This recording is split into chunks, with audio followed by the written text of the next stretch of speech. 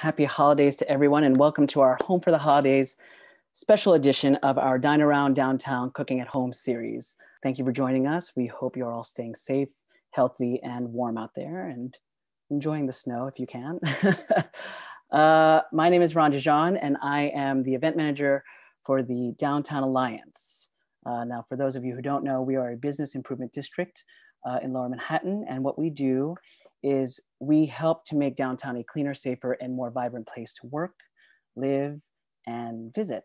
Uh, and hopefully soon uh, you guys will get to come downtown and see all the sites. Um, this includes providing support to local businesses, especially during times like these. Uh, this series is part of our continuing effort to provide support, in this case to local restaurants that have been impacted by COVID-19. And you can today help to uh, donate and support Holy Apostles Soup Kitchen, which is the food security charity chosen by Seamore's. Every contribution is greatly appreciated, whether it's $50, $5, $500, each gift can help make a difference. This soup kitchen provides a hot, well-balanced meal daily to over 1,000 people from all over New York City. Uh, you will find a link to that in the chat box, which I will share with you right now. There you go. So uh, check them out when you get a chance and please donate what you can. Um, just a few things before we begin. Uh, we want to let you know that this cooking demo is being recorded and a link to the video will be sent to you uh, and everyone who signed up for this event at some point tomorrow via email. Uh, when it comes to Q&A, if you guys have any questions, we welcome any questions for the chef. During the demo. Uh, if you have any, please submit them through the Q&A feature, which is located if you're using a desktop or laptop. Uh, it's usually at the bottom of the screen. For those of you who are using an iPad, tablet, or phone, uh, you can tap once on your screen and it should appear on the top right corner. For some of you who have a different phone, it might be at the bottom, but it's either on the right or the bottom. Check it out. Um, as for the chat box, that is where we will continue to share helpful links, websites, and other detailed information throughout the program. And one of the uh, links I will share with you now is for our poster plate contest. There you go. Uh, and our poster plate contest is a chance for you guys who are cooking along at home and uh, maybe even planning to try the recipes this weekend. Uh, if you post your plate on Instagram, you can enter to win 30 minute private virtual cooking class with tonight's guest chef by simply hashtagging dine around at home. Uh, and be sure to, of course, tag the restaurant and the chef as well. Uh, check out the details via the link that I just shared in the chat uh, and share your photos because we'd love to see them and all the masterpieces you guys are creating. All right. Let's get this holiday episode hopping. Okay, so it, it is my pleasure to introduce your host today, uh, award-winning chef, author, and here to bring in the cheer, please welcome Rocco DiSpirito. Thanks again, guys, for joining us. We've hosted some wonderful chefs and restaurants in the downtown area. Today is no exception.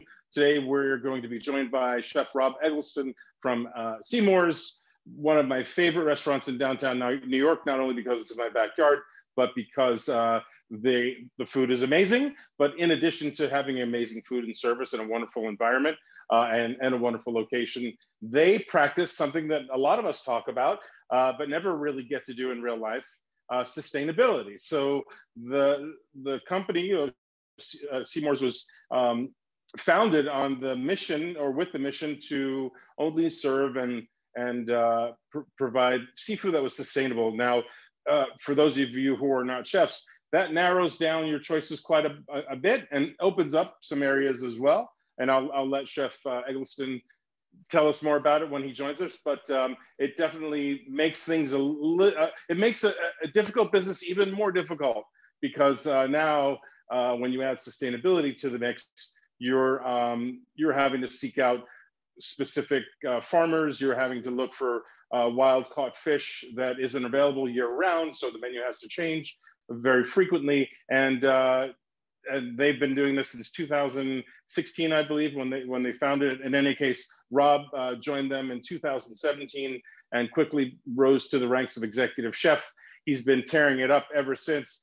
please give uh, Rob, Chef Rob Eggleston, a warm Downtown Alliance welcome as he joins us. Rob, are you there? I am. How's it going, nice Rocco? Nice to see you. Looking good, my friend. Thank Looking you. good. Thank How are you. you feeling? Welcome. Welcome to Seamore's. Thank you. Thank you for having us. So tell us a little bit about uh, what it's like to run a, a kitchen that's based on sustainability. We all talk about it, but none of us get to live it every day. You do. Tell us about it. I do. Um, and I, as you said, I, I joined Seamore's in 2017, uh, and it was built on on sustainable seafood that was that was uh, most importantly local uh, as possible. And from there, we've we've grown as the years have gone by. Fishing has changed. Um, a lot of fish uh, all across the world is is farmed, and that is farmed sustainably. Um, so we're super proud here at Seamore's to, um, without a doubt, serve you some of the most sustainable seafood in all of New York City. Um, we've we've gotten some recognition for that from the James Beard Smart Catch program. So we are uh, each of our restaurants is a leader in that, and I'm very proud uh, to say that and uh, have that stamp of approval. Yeah, on you're our- one of on the very few that lives it, breathes it, eats it, Yeah. so to speak. Um, it, it does make it a little more difficult as a chef planning menus, Yeah. uh, I believe. Tell us a little bit about what the challenges are with uh, running a restaurant that's also um, mission based, in, in this case, sustainability. Yeah. Um, so you know, uh, in sustainable seafood, um, the there are three things that we really focus on, and it's what's good for the environment, uh, what is socially responsible in fishing, and what is economically going to help these and and um, help these fishermen, you know, continue to to to fish the sustainable way, um, which in a nutshell is is you know not overfishing certain you know any type of fish so Those are high standards, high standards Yeah. indeed. yeah and you know when when we can serve fish that we know is responsibly caught it's a win-win for not only our guest and us and our fishmonger but for the fisherman who is catching that um, so yeah So um, w- when we think about all the fish that are that is available right now, hundreds of, of species come to mind. Uh, if you're Yeah. making a menu for December, January, February, uh, right now, and and limiting it only to the the fish that check all three of those boxes, what are we left with?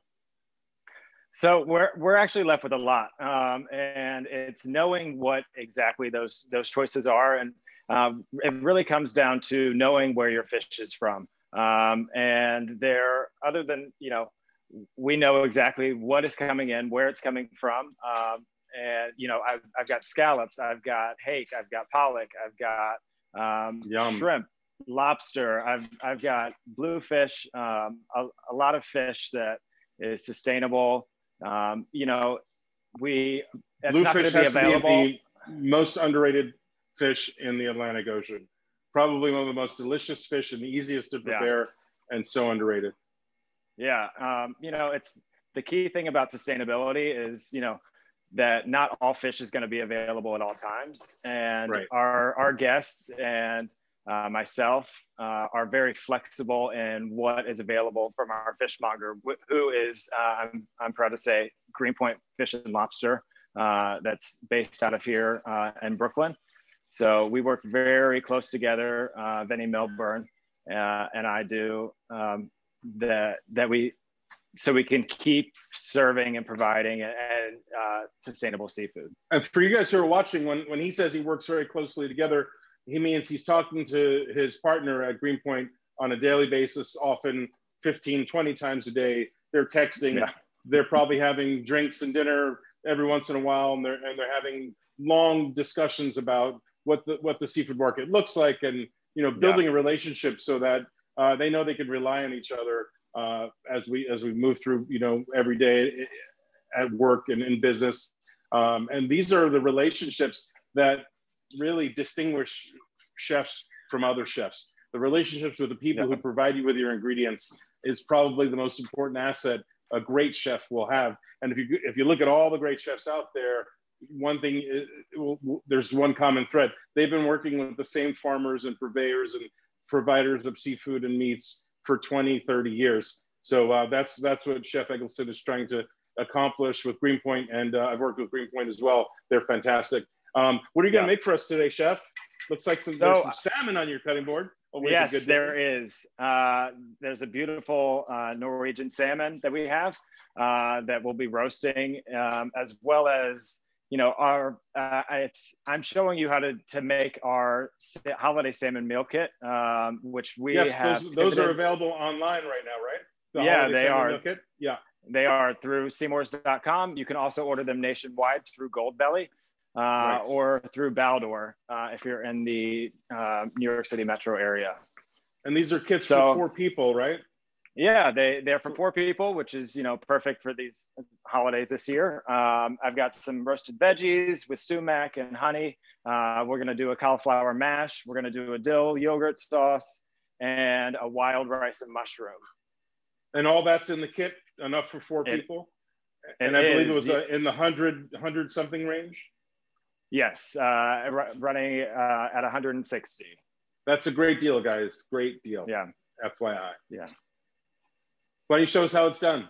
Where do we yeah, start? Yeah, absolutely. So we're going to start with, um, I've got this beautiful salmon right here. This is, uh, I've patted it dry. But before we get started on that, uh, I'm going to make the dill yogurt sauce. So I've already portioned out the two cups of uh, yogurt. That's Greek yogurt. Um, and we're going to go with the dill. So I want to set some of this aside uh, because I want to use it to garnish uh, the, the salmon after it's roasted.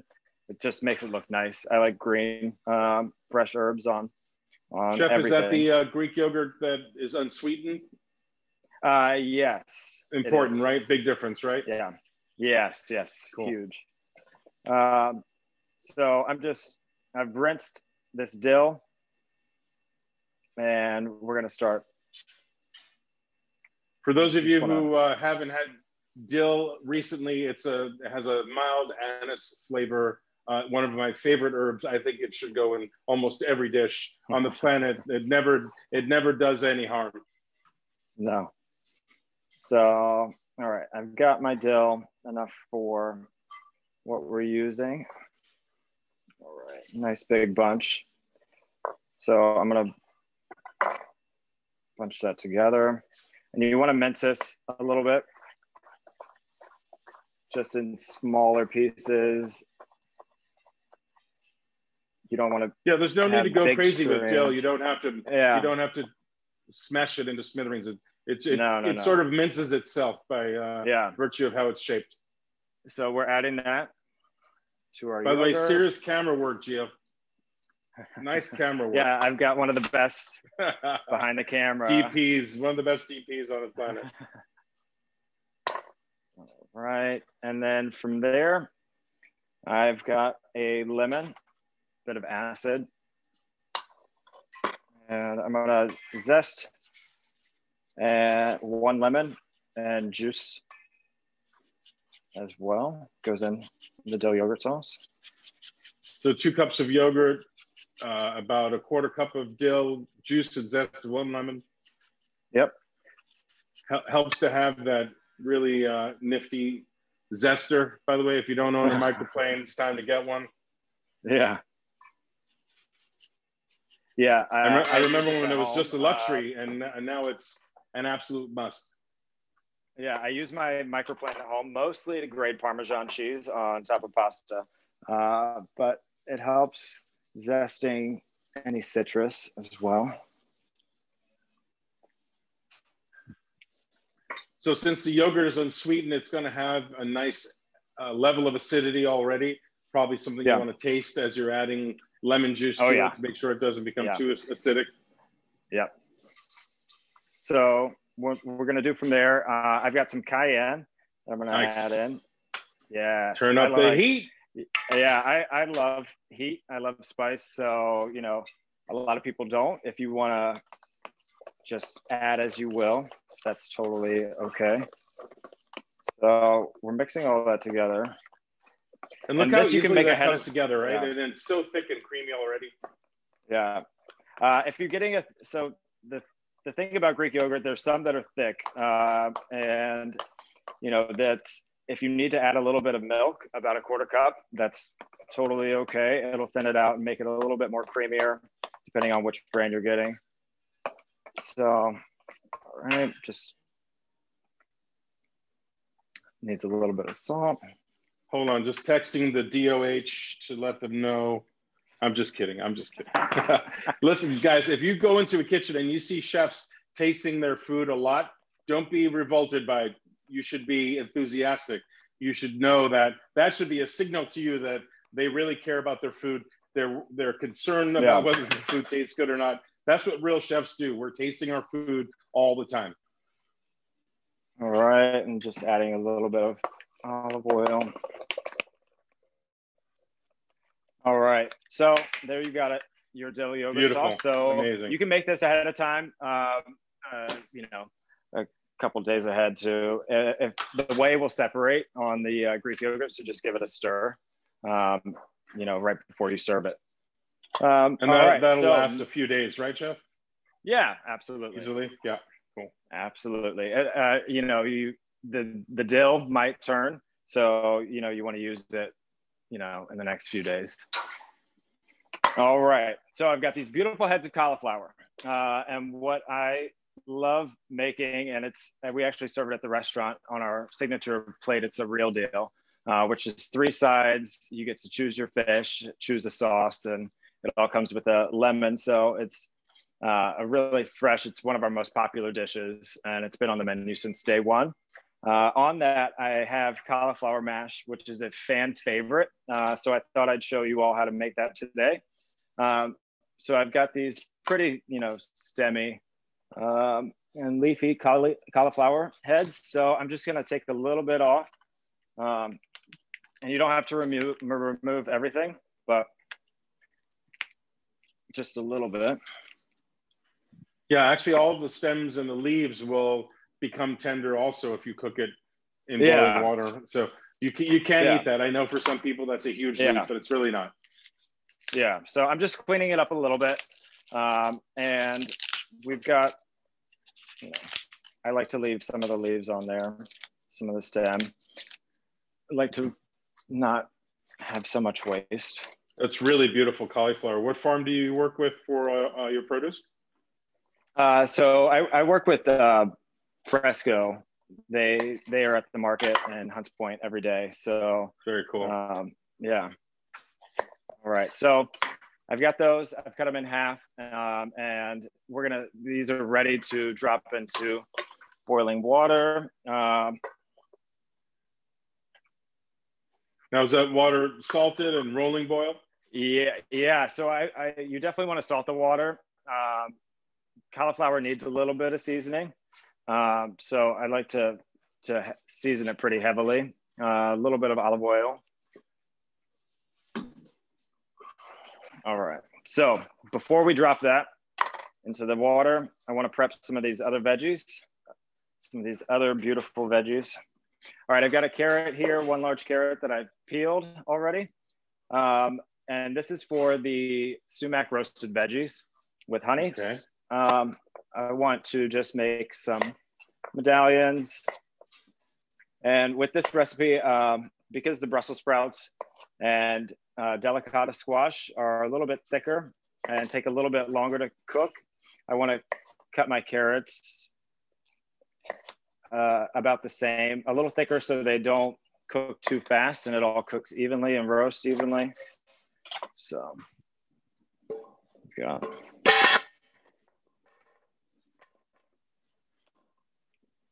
got my Brussels. Just gonna clean those up.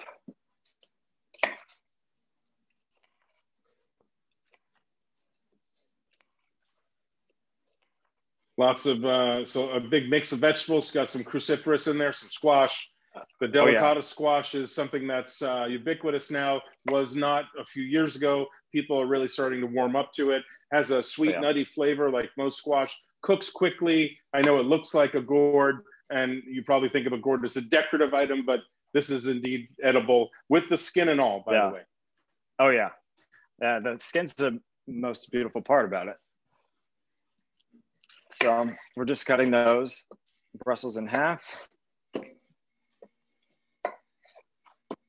The thing with Brussels sprouts is um, a lot of people think they require a lot of prep and you have to tear off lots of leaves and you really don't have to do any of that. Those leaves are just as delicious as the ones inside. I've, yeah. I love throwing those leaves in there so they, you know, they'll char up and get a little crispy, which is awesome. So, chef, you're, you're obviously right. doing this in, in, in a specific order so that uh, it all comes out cooked at the same time. I imagine it's the big question. It's always the question you get from from people watching cooking demos. How do I how do I yeah. time it so it's all coming out, you know, cooked yeah. at the same time? So we yeah, we, we yeah. saw that you made a sauce first, and you moved to your veggies. You're doing your salmon last, which might be counterintuitive to some people, but I'm sure you have your your reasons. Yeah, yeah. The salmon you don't want to overcook, so I'm saving that for last. Um, because it takes and, the least amount of time to cook. Yeah, yeah, yeah. The longest recipe that I have on here um, is the wild rice, and it's definitely the most involved. Um, and I've already got my rice cooking over there, as well as my sauteed veggies and butternut squash. So you will watch um, putting that one together. But look at that. Look at that beautiful delicata squash. And they come in all shapes and sizes. So beautiful. I, love I love the, the yeah. fact that you can eat the skin uh, yeah. and, and you don't have to peel it. A lot of people think you need to, but you don't. Hey, chef, there's a couple of questions. Yeah. You mind if I mind if I Fire throw this away. in? Okay, great. Go. Cool. Yeah. Cool. Cool. Cool. When you're cooking fish professionally, ooh, uh, do you check the temperature of the fish with a thermometer, or you just go by your other senses like touch, sight, or flaking a piece off? Um, so I don't use a thermometer. Uh, through a lot of trial and error, though, uh, and overcooking a fish, uh, you know, my, myself and my line cooks know how to uh, cook fish. When you have a thicker piece of fish, though, uh, it is good to um, have. I, I, have a cake tester, so on those fish that have you know thicker flakes like a hake or a cod, um, it is you know it would be helpful for you to um, just put in a cake, cake tester and if there's any resistance uh, or you know if you have to force the cake tester to go through the fish that typically means that it's not done cooking yet so that is a little piece of advice but no i don't tempt my fish yeah most cooks have uh, a sharpie and a cake tester in their sleeve pocket at all times yeah. and maybe and maybe a spoon for tasting uh, the cake tester yeah. is indispensable you could also use yeah. it as a thermometer if you if you touch your face or your the back of your hand yeah. with it you can compare it to your body temp and that'll give yeah. you some information as well chef here's another one have read that wild fish particularly salmon is vastly more healthy than farm fish can you please comment on if this is correct or why or why not does it matter if the fish is sustainable or not i know so, where you stand um, on that but let's let's tell the people yeah. how, how we should do it yeah so um, I actually, over the past year and a half, have worked very closely. Another fish that we bring in to the restaurant is a farmed and sustainable uh, steelhead trout. And that is healthier for you in omega-3 fatty acids uh, than a than some wild salmon, um, you know, that are typically caught in in Alaska. Uh, and the reason for that is uh, what they are fed. So it's all in, in their feed, um, which, you know, there, there are a lot of places and if it, you know, sustainably farmed salmon, these farms uh, that include algae in their feed that, um, you know, things that are good for the environment, you know, that they wouldn't typically get out um, in the wild. So that increases their omega-3 fatty acids. It's better for you. Um, so, so the answer is that they're both healthy. They both can be healthy. I think yeah. the, the thing yeah. that you want to tell us is you got you just got to know which farm and what they're feeding their fish, which is why you go through such extensive research to to yeah. find out these things. Yeah. Could All you right, share so, the name of the farm that you use for your Norwegian salmon?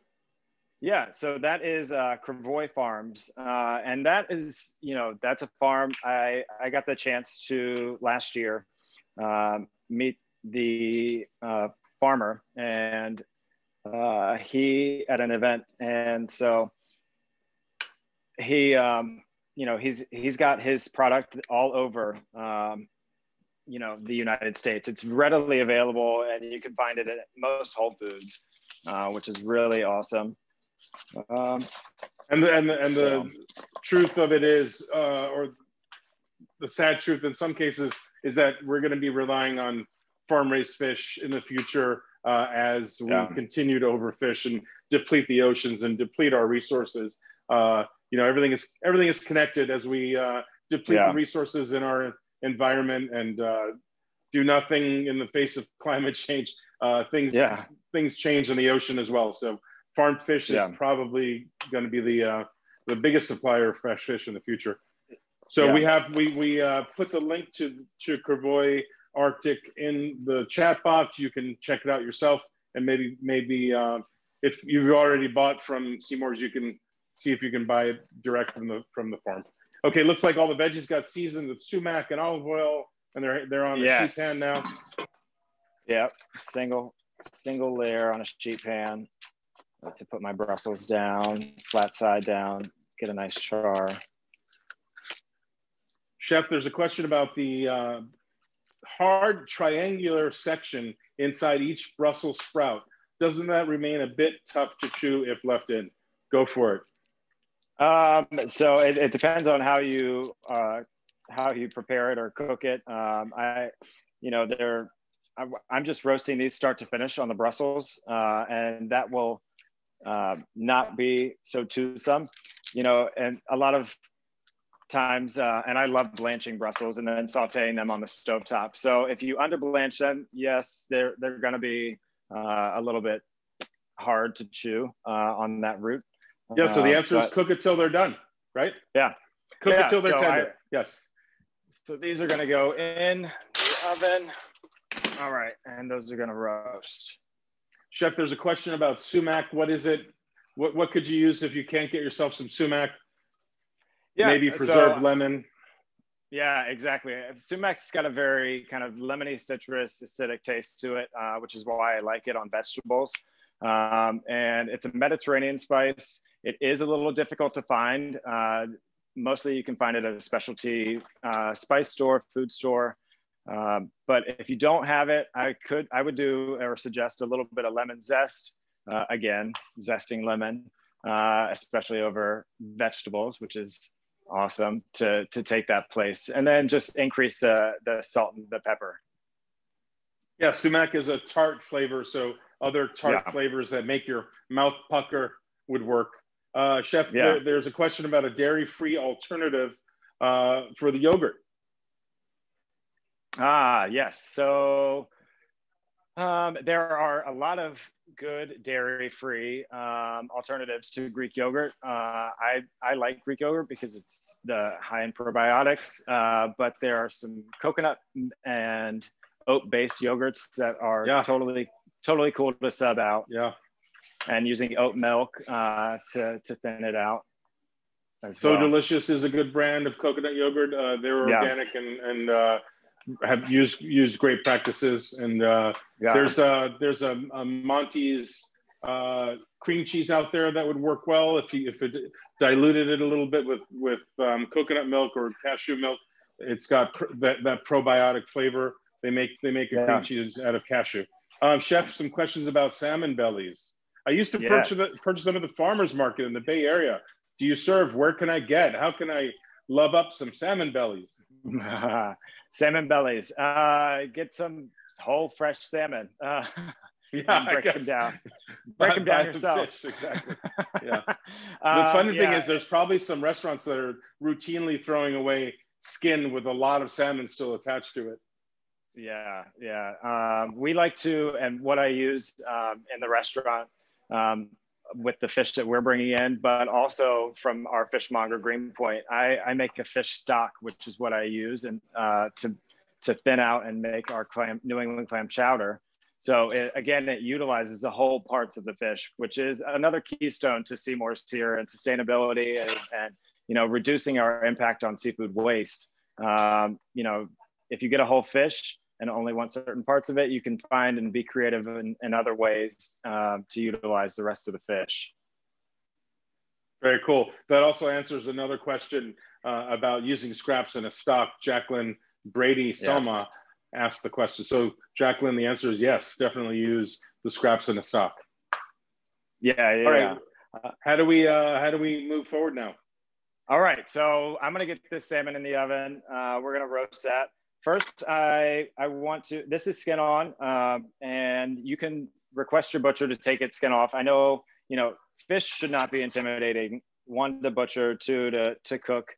Um, I've got my fish tweezers here. I am so salmon typically has a lot of pin bones, and if you're getting your seafood uh, from a fishmonger, you know it's it's for the most part going to be pin boned, but it's always good to check. And how you check is you run your your finger against the grain um, along kind of that middle right here, and sometimes there's some along the belly side, um, and I've I've got a little bit right here. So I've got these nice fish tweezers, but you can use. Uh, that was beautiful. Let's see that again.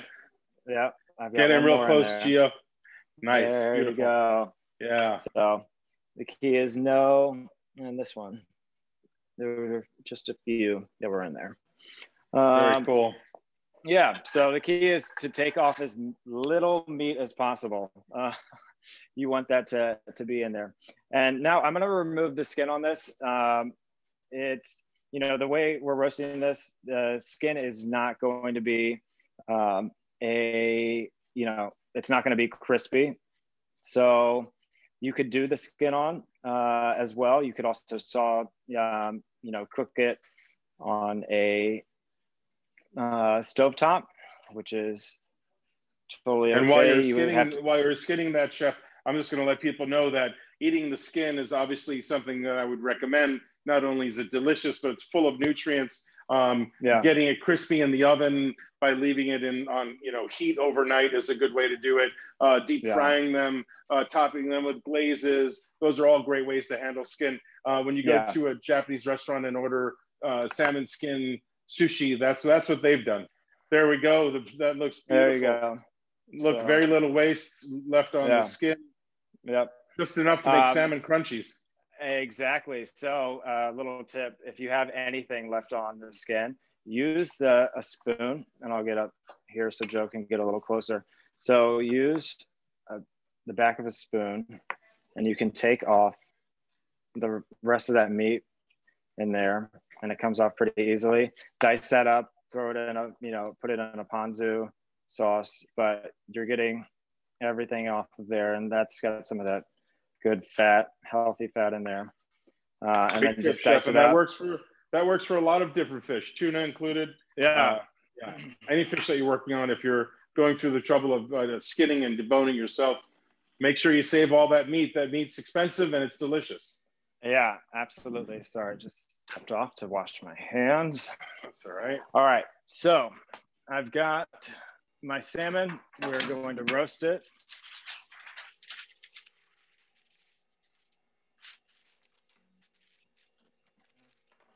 Parchment paper is indispensable in every professional kitchen.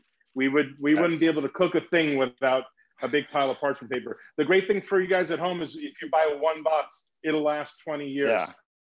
Not not joking. Uh, first thing you should do is cut them in cut most of them in half so that they're yeah. the same size as a half sheet pan. And because uh, at home no one has room for a full sheet pan. Yeah, exactly. Um, and you just uh, again don't want to waste anything. All right, so I've got my salmon. I've got a little bit of olive oil. How does the salmon arrive in the kit? Uh, so the salmon in the kit is um, it's already prepackaged, uh, skin off, pin boned. Uh, oh, okay. So, so yeah, yeah, yeah. Super um, easy, won't have to ready to any, go. Yeah. Yeah, you won't have to do any of these steps at home, um, and it's ready to go in the oven uh, for a stress-free holiday meal. All right. Want to make sure you season it well on both sides, obviously. Yeah. you can't can't under season food usually. There's almost Yeah. there's almost no way to under season things. Most people under season. You definitely want to uh, err on the side of a little too much versus too Oh little. yeah. All right, just rub that. All right. Be a nice Notice little- it's just enough olive oil to coat the salmon. Not it's not swimming in olive oil. It's not a confit Yeah. of salmon. Yeah. All right, here we go into All right. another. Yep, that'll go into the oven. All right, so what I'm pulling out um, is that last recipe we're working on, and it is the butternut squash. And Joe and I are gonna go on the move to the other side of the kitchen. All right, so the kit comes with wild rice, mashed Yes. cauliflower, roasted uh, uh, roasted squash, and Brussels sprouts. Also butternut squash uh, uh, as well. Looks like a diced sort of hash look. Yeah, yeah. So what I've got over here, I've got my wild rice that's already cooking. I am, and this is just a mix of wild rice and brown rice. Um, there's so many different kinds of mixes of, of wild rice that are available and out there. And if you just find wild rice and have some brown rice at home, you can cook that. Just add the brown rice a little bit after you. And chef, the uh, wild rice wild is a simple open the package, boil, and serve. Huh? Yes, yes. Um, but in the salmon kit, uh, we've already got the wild rice mixed in with all of these vegetables. Oh, all of the terrific. butternut All right. squash. The, Well, that's a lot of work Um, already done for you. Yeah, all you have to do is uh, reheat it a little bit and add it. You know, put it in the oven in your baking dish. Right. So. um, so Chef, I hate uh, to- I hate this to- pan. Pepper you with questions, but there's a lot, a lot Yeah. of questions about seafood. Oh yeah. Sometimes when I buy a fish from a grocery store like Whole Foods, I notice the fish tastes okay, but the skin tastes fishy. What's that indicative of? Is the fish not really fresh? Should I eat both the fish and the skin if it tastes fishy? I'll let you handle that. I'm sure you're all over it.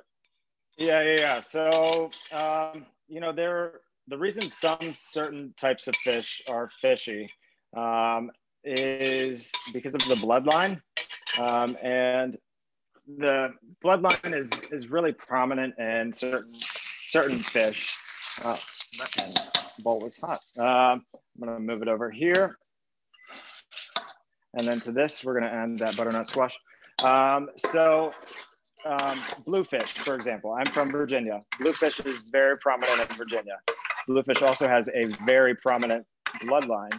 Uh, and if it's not bled correctly um, out when it's caught, uh, it tends to have a fishier taste. Um, some people like that. It's an oceanic taste, uh, how we call it. We don't shy away from those types of fish. Uh, tuna, uh, yellowfin tuna also has a very prominent bloodline that should be cut out before you eat it. Uh, but you know, tuna at the grocery store, that dark red, almost maroon color, uh, is that bloodline. So if you see that in a fish and you're kind of afraid to, uh, or it seems too oceanic, you can easily trim that off and cook up your fish at home. Yeah, I think the, the, the short answer is that the bloodline deteriorates faster than the flesh. So that Yeah. part is gonna that part is gonna get fishy first. And if Yeah. there's a lot of it is still attached, uh, you're gonna want to either trim it out or not worry too much unless it's really gone bad. Yeah. All right, so it looks like you have wild rice, butternut squash, a lot of delicious stuff just went into that and bowl. dried cranberries. So Oh, this is beautiful. very Wow. festive.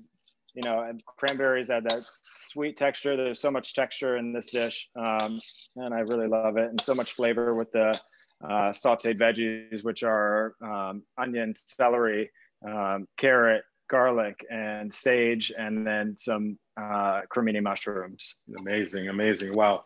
Yep. You're covering uh, the entire market here from the first I to the am, last yeah. stall. I am. All right. So one last thing. I've got the. Any more questions? Lots of questions. Uh, when I bake salmon, chef, when I bake salmon, there's this white stuff that comes out. How do you avoid this? Ah, don't overbake it. Uh, Don't a- overcook it. that's a that is a telltale uh, of overcooking. It's the proteins that are being released, and it's in all fish. It's just because salmon is that beautiful pink color, uh, it's that much more noticeable. So when you're overcooking or cooking certain, you know, any type of fish, that protein is going to release and come out of the sides, and it's that white protein. So just just be careful.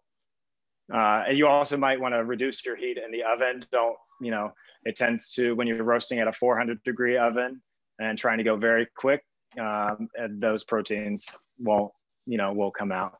So just and guys, it doesn't mean the fish is bad. It doesn't mean that yeah. you shouldn't eat it. It's just a little overcooked and some yeah. of that protein is you know in between the layers of flesh has sort of yeah. pushed pushed out by by the process of cooking so still good yeah. to eat yeah very still very good to eat um, all right so i've got my cauliflower here uh, i've got all a right. little immersion blender i've strained out the uh, the water that this was cooking in but as you can see um, from this earlier i've got some of the leaves the stems on there uh, those are going to blend up and it's going to look somewhat like mashed potato. This is a little bit healthier. So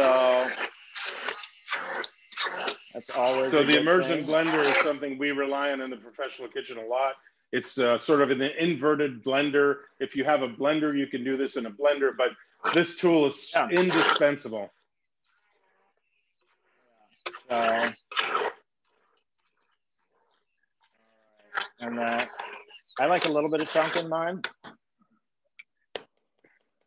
But so, so what else was in there, chef? There was the cauliflower and and what else? Yeah, uh, cauliflower. I just season uh, my water a little bit um, with salt.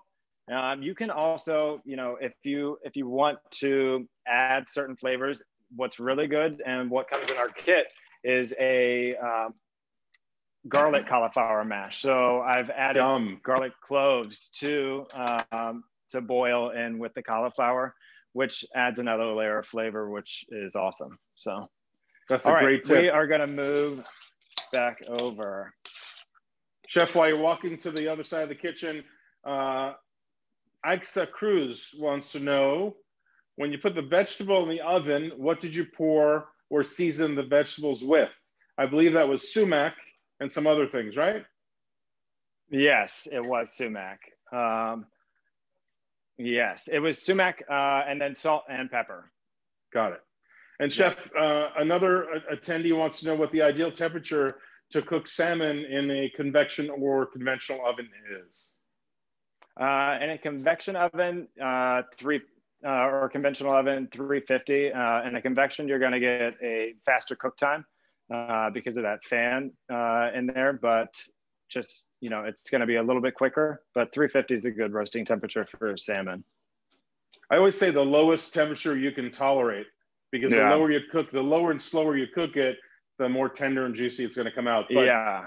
For some people, it's just intolerable to wait that long or look yeah. at the look at the fish appearing not to cook at all for that long. But uh, you know, fish is fully cooked at around 140 degrees. So uh, you could you could go as low as that, and we do that often when we cook sous vide. So um, the lowest you can tolerate, but definitely no not much more than 350 or 400, right, chef? Yeah, yeah, absolutely. Sharon wants to thank us for being uh, two wonderful chefs, full of info, learning so much. I, I credit you thank for you, Sharon. most of that. no. All right, what's the next step, buddy?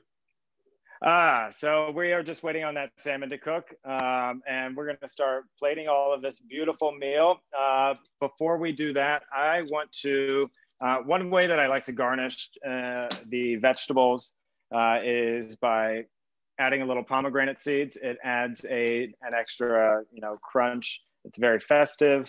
Uh, so um, pomegranate seed or, or pomegranate. Um, I'll show you an easy way to cut this to get those seeds out. And I am gonna throw on a glove just in case any juice gets all over the place. So I, I do a little bit of a roll. It's pretty loose. All right, so you first want to just cut at the tip a little bit, just enough to see all of the seeds where they are. There's that core. Um, and then you can kind of see where the pomegranate is it broken up into sections. You can trim a little bit more off of that just to see. All right, so you've got these sections here and we're just gonna cut about a, quarter inch thick all the way down to the core. Okay, and follow.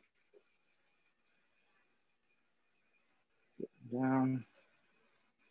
That one looks like it's over here. That one. While the chef is taking care of our pomegranate, I want to remind you to please help support Holy Apostles Soup yes. Kitchen, a food security charity chosen by Seamore, is obviously very important to Chef Rob. Uh, the link is in the chat box. Uh, they do good work. Food security is uh, at the very top of uh, important issues facing our nation right now. As you guys may have heard, you know, one in six people facing food security issues. That's roughly 60 million Americans. Then I can tell you yeah. from my work with the, the food food security charities in New York, it's about 1 million children in the local area. So, yeah.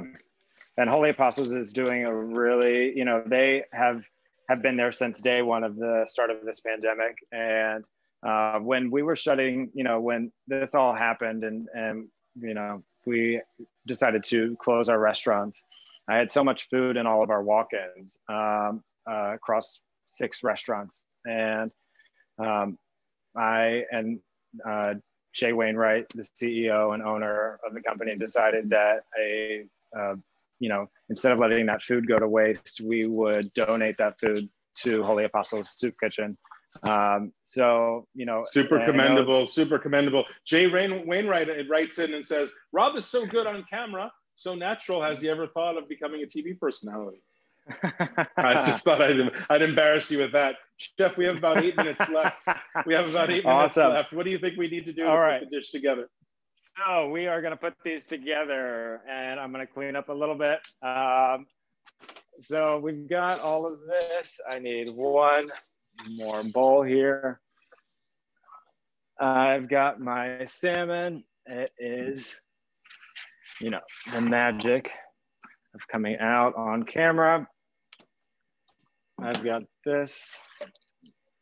We'll clear up this a little bit. Move this. So that salmon, you know, just keep an eye on it as you're roasting. Salmon got, looks beautiful, still juicy. Yeah, we've got those roasted veggies. And I'm just gonna take some of these pomegranate seeds. By the way, that was a great trick. It didn't escape me. Nice, nice job on getting those uh, seeds out. Thank you. Without without they, creating a bloody mess all over the yeah, cutting board. Seriously. All right, so we're just adding a little bit of those pomegranate seeds onto these roasted veggies. And like I said, I love some fresh herbs. These are cut chives. And I'll add that. Can't have enough right. fresh herbs in the professional kitchen. Yeah. All right. So there's that cauliflower mash. Beautiful. Also, Look at that. Love. Looks like mashed potatoes, doesn't it? So much. It healthier. does. It does. and there's that. Um, we're gonna go back to that fresh dill that we set aside. I can't believe all of this comes in a kit for four people for yeah, literally almost nothing. 150 whatever dollars is nothing for what you're seeing here. Yeah. All right. So we're adding some of that fresh dill. If Beautiful dill. Fresh there was a question about uh, slices. stems, chef. Yeah. I think I think we probably both agree that stems are are just as delicious as the leaves. Dill yeah, stems. absolutely, absolutely, and that's not true for you know all all the um, herbs. All herbs. Uh, cilantro is, is another one of those where you can eat the entire entire thing. Um, and then we've got this, but we're missing a bowl. The Just imagine rice. this. Just imagine this in a big, beautiful casserole it, dish. It, it um, is in a big, then, beautiful bowl. I know it is. Uh, and then uh, our kits also come with uh, these buttermilk biscuits. Stop it! Come on, no, they yeah, don't. they they they get a uh, they get a nice honey glaze, honey butter glaze on them before they. I'm gonna um, order this they go out. immediately. This is the deal of the century. Yeah, It looks And there you have absolutely it. beautiful, guys. It looks so beautiful. Sorry, I think I said Seagrams instead of Seamore's at one point. Apologies to all Oh, really? involved for that error. I don't remember saying it, but but apparently I did. Sharon Rizzo says you can buy uh, sumac from uh, Atlantic Tea Company on Cape Cod. Thank you for that tip, Oh, nice. Sharon. David Wong Awesome. uh, wants us to know that if you soak the fish for 20 minutes, it takes away the fishy odor. Leave you to think about that, chef. Uh, Okay. and uh, and Noted. are there other Seamore's items available for the holiday holiday ordering pickup for next week? Kellyanne, I think you're making fun of me, making fun of me a little bit, but uh, what other Seamore's items are there? Yeah, so uh, you know, I've I've started branching out a little bit. I'm cooking more than just seafood. Um, I've got your classic turkey um, holiday kit, which is uh, we sold at Thanksgiving time, and we're also selling um, pre-selling for the week of Christmas. In addition, uh, I've got this really beautiful uh, three-pound Fra'Mani smoked cured uh, uncured ham uh, that I've got with green bean casserole, uh, mac and cheese. It's all of these comfort foods, uh, as well as the buttermilk biscuits, um, and it's all for four people. So that's those are the two other ones for the holidays. Um, and So you've got keep you us- got a turkey kit, a fresh ham Yep. kit, and the salmon kit, all around the same price for four people. yes, yeah, Guys, I can't ex- I can't express enough how good a deal this is. This is um, a, a steal. If, if I, I'm just going to say it. Sorry, chef. I know you, I know you're thinking food costs, but this is a steal. All, all of the work that you just saw him do is all done for you. All you have to do is buy one of these kits, take it out, finish the, you know, cut a few herbs, heat up a few things, and you're done. What a great, yeah. think about all the stress that you eliminate from that, hol- that holiday table. Look at that beautiful yeah, food. absolutely. Uh, Ada Eggleston, uh, I imagine it is related to you. At Etta That is my mother. said Hi, you, mom. you did such a good job. of course he did. He's terrific. Hi, He's mom. terrific. I miss you. Sorry, And I can't be there for Christmas this year, mom. Oh no, don't say it. And Exa says, uh, congratulations, Rob. Exa Cruz, I hope I'm pronouncing your name right. Uh, congratulations, it looks absolutely delicious. Um, someone wants, uh, someone's uh, insisting we answer the salt question. Chef used a type of salt. They want to know if it was kosher salt, sea salt, Yes. uh, smaller grain, larger grain, Himalayan. What, what do you Yes, prefer? yes, Tell us everything you know. I love kosher salt, so you can um, get that. I've got a big box at home. Um, it's so much better than iodized salt. You um, so, and then if for a garnish, I would use you know um, Maldon sea salt that you can crush up, uh, but that's a finishing salt. So yes, kosher salt all the way. It's funny. I was just telling my colleagues at the Downtown Alliance that Maldon now has these tiny little uh, pocket-sized containers. Think about these for a stocking stuffer, Yeah, Chef. I you know, should throw these in your are. kits. They're very cute. yes, I, I think I've seen those, and they've come in. They they have a smoked and, and all different kinds of flavors. Thank you, Exa. Uh, I, I'm glad I pronounced your name properly. Thank you for being such a vocal participant. How is fish sent? Frozen with dry ice, or how? Tell us, Chef. Ah, so um, you can use dry ice. You can use gel packs. We use gel packs in an insulated, cool uh, container um, bag that is packed very tightly, and then uh, so packed fresh. in a shipping cardboard. Yeah, yeah, yeah. Got it. yes, yeah. You, I expect nothing else from you, chef. Uh, every time I bake salmon with the skin on, it gets stuck. Even when I grease the pan, any tips on making the skin not stick? This is from Lindsay John. um, that that parchment paper is a very good trick. So um, that I wouldn't use foil. Foil would stick, um, but using a piece of parchment paper um, that always helps. And if it does stick, just leave it in the oven overnight on the warm setting. Yeah. And the next day you'll have skin crispies. That'll be delicious. yeah. Uh, David wants to know where to buy the mini salts. Do you do you actually know, Chef? I don't know. I, it was on a plane. I I, I, I haven't yeah, I saw myself. them. I saw them coming up on my uh, Instagram feed through Baldor Foods. So if Oh, you're cool. in the, the New York area, they They deliver those. they deliver nationwide now, Baldor. Baldor Ah, delivers nationwide, really? yeah. So Yes, Seamore's that's is another way you can at- get Seamore's. Yes. Seamore's is located at 250 Vesey Street in a beautiful location in Lower Manhattan. Uh, you can follow Seamore's on Facebook, Instagram, and Twitter at Seamore's.